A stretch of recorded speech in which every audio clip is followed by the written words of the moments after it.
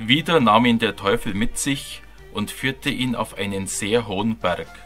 Er zeigte ihm alle Reiche der Welt mit ihrer Pracht und sagte zu ihm, Das alles will ich dir geben, wenn du dich vor mir niederwirfst und mich anbetest. Da sagte Jesus zu ihm, Weg mit dir, Satan, denn in der Schrift steht, vor dem Herrn, deinem Gott, sollst du dich niederwerfen und ihm allein dienen. Darauf ließ der Teufel von ihm ab, und es kamen Engel und dienten ihm.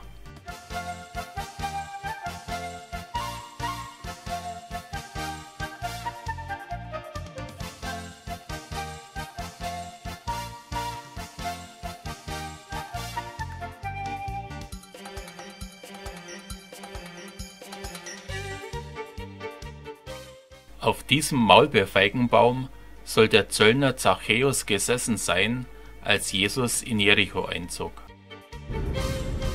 Wir verlassen Jericho und fahren weiter nach Masada. Etwa vier Kilometer vom Westufer des Toten Meeres entfernt erhebt sich die Felsenfestung von Masada. Sie ist 600 Meter lang, über 200 Meter breit und ragt in einer Höhe von ca. 440 Meter über dem Spiegel des Toten Meeres hervor. Das von Herodes erbaute Masada wurde zu einem Heiligtum für die Juden, weil sich hier eine der dramatischsten Episoden in ihrer langen Geschichte abspielte. Im Jahre 70 nach Christus, als die Legionen Roms bereits ganz Palästina erobert und Jerusalem in Schutt und Asche gelegt hatten, marschierte ein Verband jüdischer Patrioten unter Führung von Eleazar ben Jair nach Masada, überwältigte die römische Garnison und nahm die Festung in Besitz. Sie waren entschlossen, den Kampf gegen Rom fortzuführen und machten Masada zur Basis ihrer Guerillastreifzüge. Im Jahre 72 entschloss sich Silva, einer von Titus Generalen, diese unter allen Umständen und Kosten in seine Hand zu bringen. Mit seiner besten Legion begann er, den ganzen Festungsberg mit einer fünf Kilometer langen Mauer einzuschließen. Überreste der acht Militärlager rings um den Berg sind noch heute erkennbar.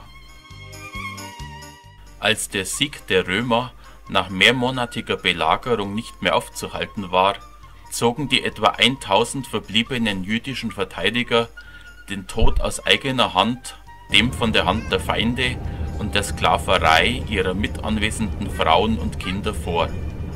Nur zwei Frauen und fünf Kinder, die sich versteckt gehalten hatten, entgingen dem Heldentod und sorgten so für die Überlieferung dieser tragischen Geschichte. Weiter geht die Fahrt zum Toten Meer. Dieses ist ca. 75 Kilometer lang, 16 Kilometer breit und liegt fast 400 Meter unter dem Meeresspiegel.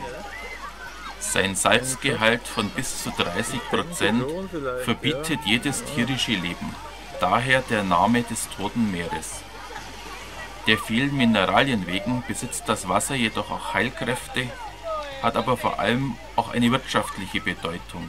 Es werden jährlich 100.000 Tonnen Kaliumchlorid, 50.000 Tonnen Kalisalze und 600 Tonnen Brom gewonnen.